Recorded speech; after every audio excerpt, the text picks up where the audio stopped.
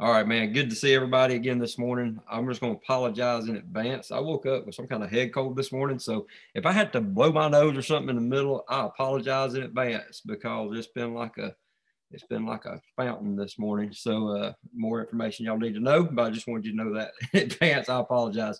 Uh, man, so good to see all you guys, all the guys watching the playback. Just a quick announcement before I jump into what God's put on my heart for this morning. Man, we're just a little over three months away just a little over three months away to Men of Valor Conference 2021, which will be in uh, North Carolina. And if you haven't signed up uh, yet, go get registered. We'd love to have you come and join us. Uh, you can find out all that information, see the lineup of speakers, and find out more information at menofvalorconference.org, Men of Valor Conference uh, dot org. And uh, man, we'd love to have you guys come and join us. I see a lot of faces on here that I know is already registered, and we can't wait to see you face to face in August for about three days there that we get to hang out and get God's word together and just uh, grow together. So, all right, guys, let's pray. If you got your Bibles, be turning to Philippians chapter number two this morning. Philippians chapter number two. And while you're turning there, let me pray for us. Father, we love you. We're just so thankful for the opportunity, Lord, to gather digitally once again on a Monday morning. And God, just uh, so thankful for your faithfulness. God, that even in the moments when we're not faithful, even in the moments where we screw up, you've never messed up. You've never let us down. You're always faithful. You're always there. You're the same yesterday, today, and tomorrow. And God, we're just so thankful uh, that while we were yet sinners, Christ Jesus still died for us seeing and knowing what he was getting. And he still said we were worth it. And Father, we praise you and thank you for just for who you are, but for being willing to send your son and for him being willing to do your will, to give us eternal life. And God, for that this morning, we praise you. We just pray over your word this morning as we're fixing to uh, read through a few verses. God, may it challenge us as men. May it encourage us as we start this work week. And may we all be encouraged and equipped to go be the men of God that you're calling us to be. Father, bless our time. In Jesus' name, amen. All right, guys, Philippians chapter number two. Uh, we're just going to take a few verses out. I'll be honest with you this morning after my quiet time. I was sitting there, I was like, all right, Lord, uh, really appreciate you giving me something before I get in front of the screen this morning, because uh, those are kind of sometimes scary moments. And I was just kind of flipping through God's word this morning, just reading some just stuff. And man, when I when I when I turned to Philippians chapter two, this just kind of really stuck out to me, and I really feel that's just kind of what the Spirit laid on my heart this morning. So Philippians chapter two, we're going to uh, start reading in verse number twelve, and just read through a few verses, and then. Uh, take a pause and just uh, walk through a few things that I, that the Lord showed me as I was just walking through it this morning. All right, verse number 12, here we go. Therefore, my dear friends, just as you have always obeyed, so now, not only in my presence, but even more in my absence, work out your own salvation with fear and trembling. For it is God who is working in you both to will and to work according to his good purpose. Do everything without grumbling and arguing, so that you may be blameless and pure children of God who are faultless in a crooked and perverted generation, among whom you shine like the stars in the world. 16. By holding firm to the word of life, then I can boast in the day of Christ that I did not run or labor for nothing. But even if I'm poured out as a drink offering on the sacrificial service of your faith, I'm glad and rejoice with all of you. In the same way, you should also be glad and rejoice with me. As I read through those verses this morning, just two words that really stood out. There's a bunch that stood out, but two words that really, if I could title this, uh, I, I would say this even more. Even more as you see right at the beginning, uh, we know right anytime you see therefore in scripture, you need to go back and look and see what it's there for. We've heard that. If you go back and read up in the verses before, in verses five through 11, uh, man, Paul's writing about Christ's uh, humility, his exaltation, how, man, he come down, he humbled himself, and, and everything that Christ did just for us because he loved us. And then he said, man, because Christ was willing to do that, he said, therefore, my dear friends, just as you have always obeyed, and I want to say this, man, man, even though you've done what you've done for the kingdom, maybe you've been a, a believer, a, a Christ follower for 30, 40, 50 years, or it may just be a week. Man, what you've done, that Paul said, hey, that's awesome. What you, you obeyed. He said, but I want to encourage you that, hey, even more now, now is the time. You know, we can't live on yesterday's uh, accomplishments. I've said it before. Hey, yesterday's gone. Praise God for what happened yesterday. Praise God, we can look back uh, and, and, take things and learn from it, you know, on what not to do, right? I got a lot of those on. Don't do that again. Uh, but thank God we can look back sometimes and say, man, that was a great time. I remember those experiences. And, and I just want to remind you of this that a lot of times, you know, we think about sharing our testimonies. And if we ever share a testimony, I've always said this your testimony should be constantly changing, not your salvation testimony. That, that should be locked in stone. But your testimony on what God is doing in your life, that should be changing weekly. You shouldn't just be talking about every time you share your testimony, talking about your salvation experience. And I thank God that we can share that. I share mine a lot but I should be able to share with you, hey, yeah, God saved me on December the 8th, 2002. Man, he, he brought me from death to life. He made me a new creature. But hey, it just didn't stop there. Because you know the old song, He's still working on me. Well, I'll tell you, boys, He's still working on me. And I should be able to tell you, hey, let me tell you what God did in my life last week. Let me show you, let me tell you what I saw God do last week. Let me show you what, what God showed me in His Word this morning. We should have a constant, fulfilling, fresh new testimony to share with people. And hey, I tell you what, if, if, we're not getting that, then something's wrong because we should have a fresh excitement for the Lord every single day. I, I said it a couple weeks ago, I was going through a Francis Chan study, and he said this, you know, and I agree. Our quiet time should be the most exciting time of our day. That should be the thing that we're talking about as we go throughout our day is our time with the King of Kings, the Lord of Lords, getting in the Word, the creator of the universe made time and wanted time to spend with just me. He wanted time. Is any, anybody, some of you, I don't know your fatherly experiences, but man, I know with my kids, I know with my dad, I, I was lucky to be an only child growing up. All right. So I didn't have to fight for, for mom and dad's attention. No, I probably got on their dadgum nerves. That's why, man, I wish you had somebody to go play with because he gets on our nerves. But I, have got five kids. Travis Watson's got 23. And, and we know, you know, I, but this is what I see with my kids. You know what they do? They, they, they, they will fight for dad's attention. I, I got two little girls. I got, I got a, a four year, fixing to be four year old and a fixing to be two year old. And can I tell you, they fight sometimes for dad's attention. They both want to get, there's many times I'm sitting at my kitchen table and I got one of them on both knees because they both fight for dad's attention. But what this is, listen, this is where I'm going with this. But what I see is when you, when you stop and you know this, if you're a dad or if you ain't a dad, man, maybe one day you'll get to experience this. But when you take the time and just get down in the floor you look that one child in the eye and you say, Hey, I'm going to spend a little time just with you. What do you want to do? Man, they light up. Can I tell you that's the way we should light up, knowing that the God of the universe takes time to sit down and say, Hey, I'm here. I just want to talk with just you today. Man, that, that should excite us as men of God. That should encourage us. And listen, that we should be going out every day and talking about our time with God. But man, we, we've made it such a check off the list instead of truly finding and making time. Listen, we'll make time. I said this in our church service yesterday, you know, hey, when the ball game goes into overtime, we'll go to work next day and talk about, man, wouldn't that football game, it went into three overtimes. We stayed up to two o'clock in the morning watching a stupid football game. And I've watched a stupid football game. All right. I like football football. But we'll go to work talking about how good it was, even though it took away sleep. But when's the last time that we said, Hey, I lost some sleep because I got in God's presence, because I got in God's word. And we wake up more excited about our time with God yesterday than we did about the ball game, about the, the baseball game going into 17 innings and going for six hours. And we sit there and watch the whole blame thing, but we can't get excited about getting in God's word for 15 minutes. Something's wrong.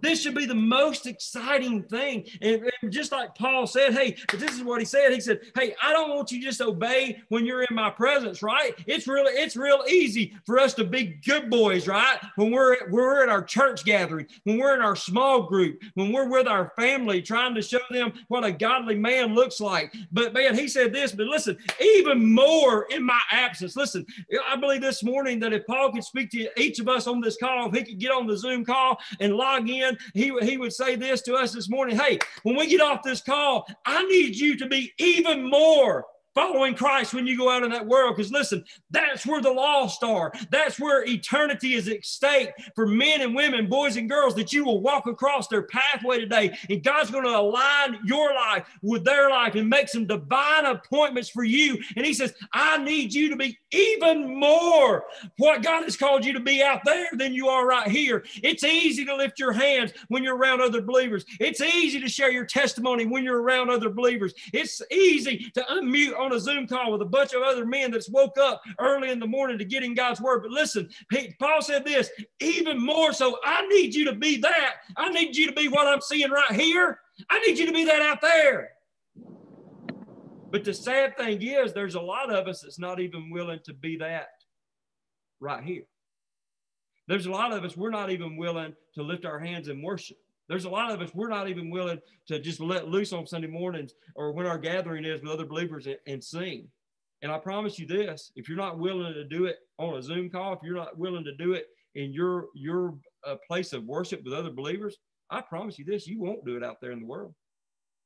If you're ashamed to worship with other believers, you're ashamed to testify in front of other believers. I promise you, you won't do it at the gym. You won't do it at your work. You won't do it there. But man, even more. Because you know why? Even more?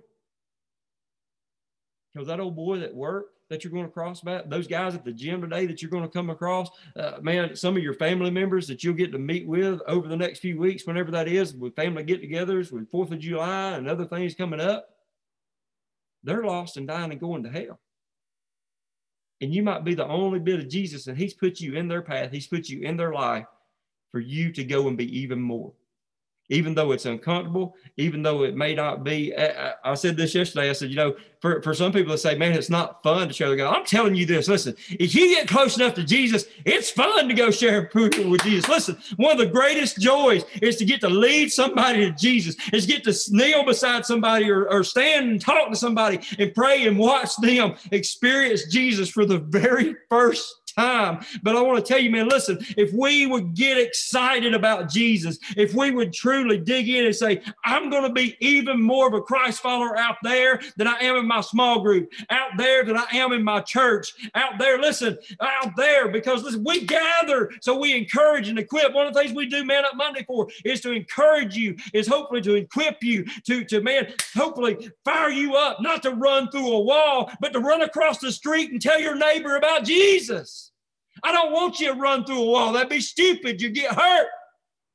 I want you to be willing to run across the cubicle to that lady that's over there fixing to die and go to hell, that her husband is a drunk and you somebody needs to go win him to Jesus. Let's get fired up and go after what God has called us to do. Matthew 28 19, he said, Go. And that word go in the original language meant as you go. It meant every part of your life. When you're at work, when you're, when you're with your family, as you're walking throughout the day, you should be going and making disciples, sharing the gospel, teaching what Jesus has taught you, taking the word of God and putting the, the rubber on the road and making sure that even more out there, listen, because they need it. They need it. We are the church. It ain't your building that you meet at. That building 100 years from now will probably be gone. But the gospel will still stand. The word of God will still be there. But it's up to us. He has entrusted me and you. Scripture tells us we are ambassadors for Christ. If we are truly born again and we've given our life to Jesus, this world is not our home. And it's time we stop acting like it. It's time we start looking different. You say, well, they're going to look at me funny. Hey, that's all right. Because I promise you, at the judgment seat, I, I don't know how the judgment seat will work. I don't know how all that's going to go down, boys. But I've always thought, what if? What if we were there and we got to watch? We got to watch Jesus judging the lost. And what would happen if we were sitting there watching and there was that old boy from work or one of your family members, they standing in that line, they was going up for Jesus. And they hear, Depart from me, you workers of iniquity. I never knew you. And this is just what I've always pictured. I would hate to be standing there, them for be able to see me. They look at me and say, Why didn't you tell me? Why didn't you tell me? To me, that'd be a whole lot harder conversation than sharing Jesus with somebody at work. They might get pissed at you. They might not like it. They may tell you to shut up, but that's okay.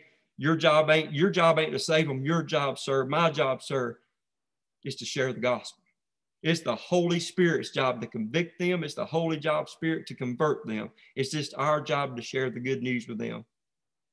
It's just our job to make sure that they have heard the gospel. I'm trying to pull something out. I'm going to share a quote from you. It was on the back of one of our soul concerts. I read it yesterday. It was a quote from Charles Spurgeon. I'm going to share it with you men this morning. Hold on just a second. I, I wasn't planning on it, but here we go. This is what Charles Spurgeon said. If sinners be damned, at least let them leap to hell over our dead bodies. And if they perish, let them perish with our arms wrapped about their knees, imploring them to stay. If hell must be filled, let it be filled with the teeth of our exertions, and let not one go unwarned or unprayed for. We should have the mentality of whatever it takes for me to share the gospel with them, I'm going to do whatever it takes. Whatever it costs me, I'm willing because eternity is too long. And I love them too much to know that they're going to split hell wide open. Sir Robbie Galloway said this when salvation come to you, it was on its way to somebody else. When God's grace come to you, it was on its way to somebody else. But the question is, will it stop with you or will you allow it to flow through you so that you can be light to someone else? But let's keep working. That's point one. I only got 12 points. Man, you ready? All right, here we go.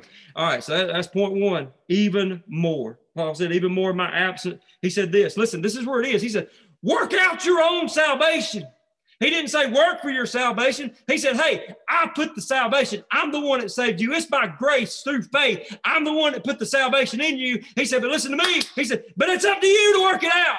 It's up to you to live it out. And then you see right here the human responsibility in verse 13. It said, For it is God who is working in you both to what? To will and to work. You got to have the will and you got to go out and work it out, man. It's up to us. It's one thing, man. Hank Sharp, I'm in a polo with him, and he was saying this the other day. He was sharing something that God had showed him. How a lot of times, you know, we like to talky talky, but it's a different thing to go out and do the walk. We like to talk about we need to do this. We like to talk about we need to soul win. We like to talk about getting on uh, uh, Man Up Monday and us talking about going, sharing our faith and winning men and women to Jesus. And we'll all say amen. We'll say, yes, we need to do that. But it's another thing to hit the end, the Zoom call, and then go out and do it. Because we sit here and talk about it all day long. We sit in our churches and amen the preacher and go to the altar and have an emotional experience and say, I'm going to win somebody to Jesus or I'm going to share my testimony. I'm going to be bold with my faith. But it's a whole different story to actually go out the walls above our door of our church right here. It says you are now entering the mission field. When you walk out of the door of your church, when you walk out the door of your of your home every morning, sir, can I remind you that you are a missionary? You are being sent out to that circle of influence, wherever it might be, for you to go and share the gospel, for you to go and live it out, for you to work out your salvation, for you to will and to work according to what? His good purpose according to God's plan for your life. And this is what it says, verse 14. And I'm just going to tie this right in because it's right there in the scripture. He says, and do everything without grumbling or arguing. How many of you done grumbled already this morning? Somebody be honest with me. Your coffee wasn't ready in time. You spilled a little bit of your coffee. Your alarm clock didn't go off on time. Or you grumbling because you, I got to get up on man up Monday. I overslept. And you grumble about that. Listen, we a bunch of grumbling little sissies sometimes. I'm just just being honest with you. Maybe that's just me, and y'all can make fun of me for being one. But I'll tell you, I'm I'm one of the biggest whiners sometimes that I've ever seen in my life. A lot of times I whine more just under under my breath because I don't want nobody to hear it. But listen, it's time that we truly get up and listen, we'll grumble to ourselves about sharing the gospel. And you know what we're doing? We're arguing with God. I promise you this. Listen, today as you go out, I want you to hear me right here. Everybody listening, nod your head if you're listening. Can you hear me? I want to make sure my microphone is working before I say this. All right, listen to me. Hear me. Y'all ready? Say yeah. Okay. I couldn't hear you, but I can see your lips.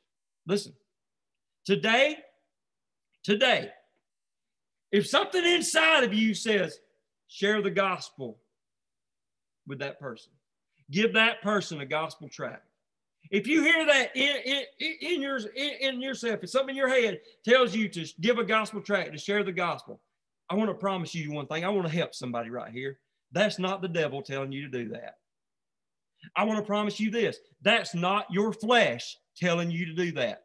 Your flesh that is uncomfortable. Satan don't want you to share the gospel with somebody. Can I tell you? I'm just going to be flat honest with you. We all talk about we want to know the will of God. We want to know what God wants us to do in our life. Can I tell you if something in you tells you to share a gospel tract, if something in you tells you to share the gospel with that person, can I tell you who it is? That's the Holy Spirit of God. It is nothing else but the Holy Spirit of God trying to tell you to be obedient, trying to give you a blessing, trying to give you an opportunity to work out your own salvation. And listen, there's so many times where for some reason we'll hear that inside of us and we'll think, well, we'll start doing this, right? We'll, we'll start having that moment. We want to lay out the fleece. We'll start having a Gideon moment. Well, God, is this really you? If it is, let a purple semi truck with 12 yellow cars on the back of it pass by, Lord, and I'll do it. We'll start throwing out fleeces when, when God's telling us to share the gospel, when He's sitting there telling us plain and boldly to go do it. Because I promise you, there's nothing inside of you. Paul said, There's nothing in me in the flesh that is good. The only thing that is good is me in Jesus Christ. And I promise you this, sir, listen to me. I want to help you. Be obedient. Because listen, if you say no, you know what that is? That is sin in your life because you just told God no in what He's told you to do. So for somebody, I, I just helped you today. So when you hear that, share a gospel tract, share the gospel, share your testimony with that person. That's the Holy Spirit of God, sir, telling you to do that. Nothing else. So sorry that I just took your excuses away for you going and sharing the gospel. I, I don't apologize because it's time as us as men of God Listen, the only way we're ever going to lead our families closer to Jesus, the ever way we're ever truly going to start making disciples, is the first step is me and you being obedient to the Holy Spirit. And the more that me and you are obedient to the Holy Spirit, listen, this is what happens to you. This is the good part. We get closer to Jesus. And the closer we get to Jesus, the more we know him, listen to me, the more we love him the more you get to know him, the more you truly get in his presence, the more you want it. Listen, and I want to tell you, after time after time, and, trust me, I fail as much as anybody. I, I, I have my faults, I have my failures, but listen, in those moments where I truly get in his presence, listen, it wants me, I long for more. I long to know him more. I want to try to be obedient to him. I want to get my time word. Listen, I want my my my, my prayer since since I've been going through some of these studies is God, let this be the most exciting time of my day. Listen, I know he's going to show up. I know he's willing to speak to me, but I am I going to be in a place where I've repented of my sins, where, where I'm coming as a clean vessel to receive something from God in my quiet time. I don't want to just check it off the box anymore. There were so many years that I just checked my quiet time off the box because it was the right thing to do. Listen, men, it's time that we come clean. We want to get in the presence of God. We are willing to say even more out there. I'm going to be more of a Christian out there than I am in here. Listen to me. I'd much rather the the law the the homeless people in my community tell people about my faith than the people in my church. I'd much rather the people that I work with say, man, just just to watch him, he's constantly talking about scripture. He's talking. I'd rather them be talking about me than my preach them than the people in my church, me as a pastor, than them saying, boy, he sure does, he sure does do this. Or I'd rather the people out in my community. You know what that tells me? When the people at work's talking about it, that tells me that I'm doing it even more out there. I should do it in here. I should do it in here. I should do it in my family but even more so out there because they need it. So let's finish up. I got, I got, I got to go fast. Y'all ready? All right, here we go. So he said this do everything without grumbling and arguing. Why? Verse 15. So that you may be blameless and pure children of God, who are faultless in a crooked and perverse generation, among whom you shine like stars in the world. If I've said it one time, I've said it 50 times on this call. Man, it's time we go light it up for the king. He said right here, listen, listen what he said. Let me read that again. He said, You do all this so that you may be blameless and pure children of God who are faultless in a crooked and perverted generation. He said, so among, do you hear that? Do you see that? He said among. So he's saying that when you're in where they're at, when you're at work, when you're at the grocery store, when you're among that darkness, when you're among the unbelievers, you need to work out your own salvation. You need to be obedient there. Why? He said, so you can be like a shining star in the darkness, so that you can be a difference maker for the kingdom so that you can say, even more there, I'm going to shine. Hey, because you know what? When you go to your gathering and you're in there lifting your hands, you're saying in praises, you're, you're around a bunch of other, a lot of times, a, a bunch of other believers, and it's a bunch of stars. It's like a big cluster of stars. If you ever see a big cluster of stars on, on a cloudless night, right? You just don't pick out one star, can you? You just see the big cluster. And praise God for that, that we get to do that and worship other believers. But on those nights where you just see one star here, you know what? man, there'll be that one star that just stands out up in that dark sky. And can I tell you what scripture tells us? And right here's what, what, what Paul was telling us that needs to be me and you. You may be the only light at your workplace, the only light at that place where you go today. But it's up to me and you to be obedient. When God tells us to share, like I said, remember this that's the Holy Spirit telling you to do it. So don't start believing that lies. Don't, don't start questioning it. How many times have we done this? We would hear, share the gospel with that, share, give him a gospel tract. And we start doing this. I can say it because I've done it. Lord, you sure? Yeah, he's sure. Yeah, yeah, listen, God ain't thinking, maybe, hey, hey, maybe we should share the gospel with him. God's never said that. God, God isn't maybe guessing like maybe let's share the gospel with them. He's thought he's not like he, he, he don't go like this. He, he don't go, Jordan, are you comfortable with sharing the gospel with that man that just walked through that door? He's never done that. No. Listen, that's part of Luke 9 23, right? That's part of taking up your cross and following him. So, men, I challenge you today. Today. And then I want you to go back and listen to this call tomorrow, and I'll challenge you tomorrow. It'll be Man Up Tuesday. Go light it up for the King. I encourage you, if he tells you to share today, there's no question on who's telling it to you. So this this when you're going to have the opportunity today. Man, I've said this to my church. They're sick of hearing me say it. There's two things that you can't say in the same sentence as Jesus is Lord. If Jesus is truly Lord in your life, there's two things that you cannot say in the same sentence, and that is this no, Lord. Because if you say no, then he's truly not Lord in that moment.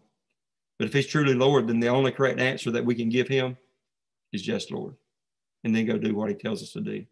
So, men, go light it up. Let's go share the gospel. Hey, you may never get to personally win somebody to Jesus out there, but that's not your job.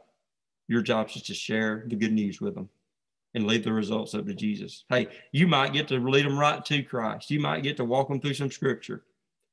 Or it might be you plant the seed, and next Sunday they take their family to a church somewhere and they hear the gospel again and they get saved in that church service. And one day in heaven, you might have somebody that you don't even remember come running up to you and say, You don't know me, but that one time in that gas station, you gave me a gospel tract. And in that moment, I just kind of stuck it in my pocket. But can I tell you, it may be I went home later and read that tract and the Holy Spirit convicted me and I gave my life to Jesus. You may never get to see the fruit here, but I promise you this God's word says this it will not return void. Be obedient, men. Go out and light it up for King Jesus today. He is worthy. He's not only worthy of our worship on Sundays when we gather, He's worthy of your worship today as you're scattered as the church, as we go out and light it up. So, man, I love you. Man, I ate up all the time today. So I apologize for that, but I pray that you were encouraged. Hey, uh, once again, I'm going to go through the chat here in a minute. If you got any prayer requests, feel free to drop those in here if you're live on the call. Um, and we'll, we'll go through and just pray over those after the call ends. But man, I love you. Thankful for all you guys showing up each and every Monday. And uh, man, I can't wait to see a bunch of you in North Carolina in August for some face to face like I said, if you haven't signed up or you got more questions about that, go check it out, menofvalorconference.org. We'd love for you. Uh, you can send us an email if you got any questions about anything, but we'd love to see you up in Ridgecrest at the end of August. So let me pray over you, man, and then go light it up for the King. Father, we love you. Lord, we're just so thankful for this time, so thankful for your word. And I pray that today, us as men of God, that, Lord, that when we hear you tell us to do something, that we do it. That we rise up, that we be bold, that we would remember what the Bible said over in Acts. I believe it's chapter 4, verse 12 and 13, where it said, When they realized that John and Peter were uneducated and untrained men, but they seen their boldness, it said that they realized that they had been with Jesus. May because of our boldness today, people realize that we have spent time with Jesus today. Father, may you be honored by our lives today. May we go out and work out the salvation that you've put in us. And may we share the gospel and light it up for the King. And we ask all this in Jesus' name. Amen. Love you guys. Have a great week. And we'll see everybody next Monday.